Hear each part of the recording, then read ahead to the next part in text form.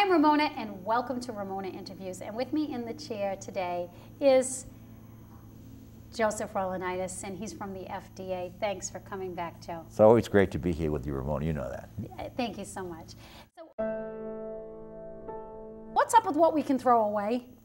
Well, we uh, and, and And we got new rules on what we can throw away. yeah. Well, you know I, I shouldn't be sneaking those batteries in my, in my. Well, you know, it's you, you got you got not, when it, it comes to medical waste, uh, which is is is just a, a, a lot of parameters here, a, a lot going on. We've got nine or ten million Americans that when they, they leave clinics uh, and they go home, they have the, the wonderful option of, of, of bringing, you know, using syringes, using you know, medical products at home to improve the quality of their life. You know, they're, they're dealing with HIV, AIDS, they're dealing with hepatitis, they're dealing with uh, diabetes, Diabetes, and, and, and, you know, and cancer, and they actually can treat and, and work with uh, their medicines at home, and, and that's a great thing. And It does it does a lot for quality of life issues. You know that.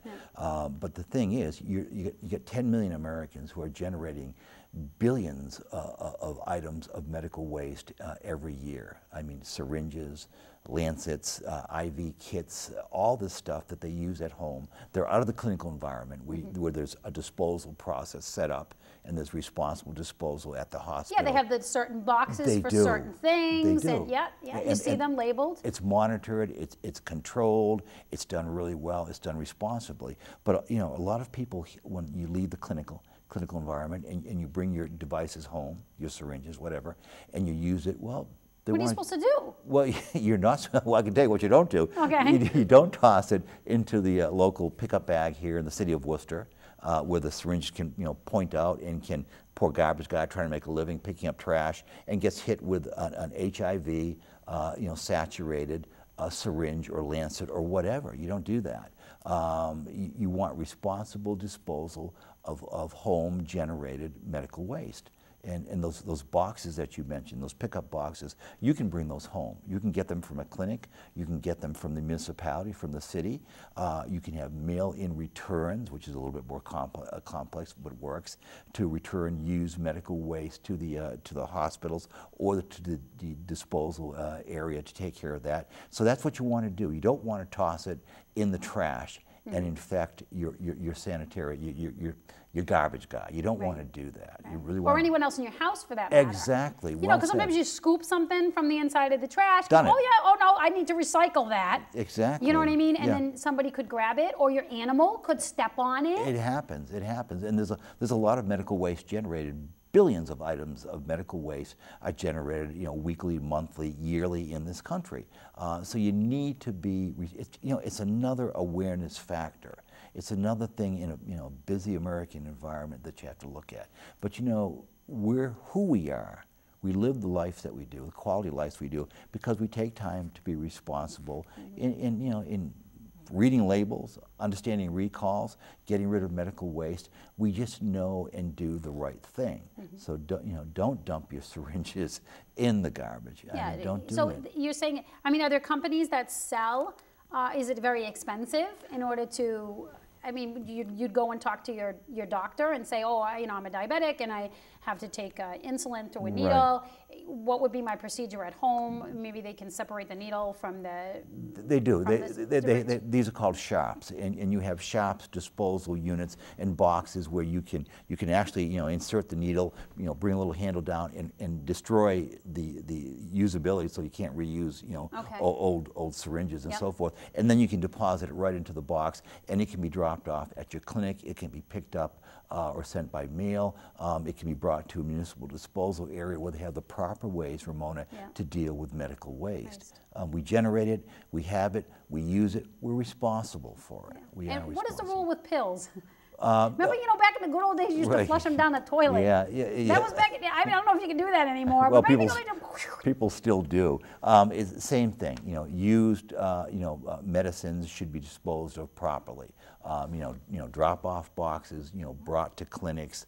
Uh, you know, destroyed on site. But you know, it's not a good idea to put it into the municipal water system. We don't. We don't advocate that. Yeah. I mean, I mean, it doesn't get filtered out. In other words. Not well. It really doesn't. It, it doesn't leach out. It leach, leaches into things. Doesn't doesn't filter out really well. Okay. Um, so you know, we have these wonderful luxuries here. We do. And we know that. We're, you and I are advocates of the American lifestyle. Mm. Yeah. It's a good lifestyle.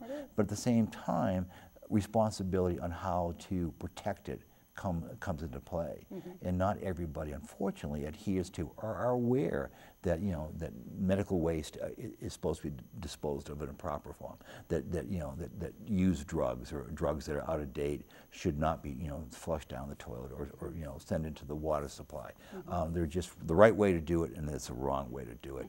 And you go to the FDA website and, and the right ways are outlined for you. Oh, now, will pharmacies take them, like old pills? I don't know, but I, I don't really know that. I don't know if That would be a great thing if they did. Yeah. Because, I mean, you get your prescriptions there, You so do. if you had pills you didn't need Yeah. anymore or they expire, Yeah. you know, to be able to drop them off. Something I'll research for you, and we'll find out whether pharmacies take back, I think they do, take back used medications or medications that are out of date. One thing which, which we advocate, uh, you can use food past the expiration date.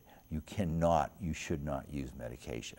Oh, really? Real, Any real- kind of medication, yeah, doesn't matter? yeah, once it goes past the expiration date, it is really loses its potency. And, Oh, and- and, you okay. know, the, the, the active ingredient, the potency of a medication is part and parcel of why you buy it. It's, it's treating, it's curing uh, an illness and, and a problem. And when the potency goes, the medicine, medicine is, is really not functional. Okay. So that's something that somebody to think about if they're buying in bulk. Sure. Oh, it is. It you, is. You know, is. you know, you don't want to stock up too much because your your medicine may lose its. potency. It's funny. I was just going through the bathroom cabinet, going, "Okay, what what in here is old?" There you go. That's You know, it's- that's the cough syrup, and so well, it needs to be cleaned out too. Yeah, know? there you go. It's getting a little thick in there. You oh, know, so, oh, you know, so I was looking, and I was thinking about that too. I was like, you know, gee, I wonder if you can, like, how far over that expiration date you can go. You shouldn't. You shouldn't. You, once you hit the expiration date, the, the impact of the medicine, the curative ability of the medicine depletes dramatically. A- And it may be unstable too, because it, you know, it, it may, you don't know how much it depleted. That's correct. You don't. And, and It could be 10%, it could be 50%, it could be 100%, Yeah, it could be 5%. it It's like, you know, it's a roulette. Let, let's see what, let's see if this cough syrup will work tonight. don't gamble on drugs. Um, yeah, medica- you know, medications are, are, are potent and they should be used prior to the expiration date. Okay, so quick before we close, can you believe we're almost out of time?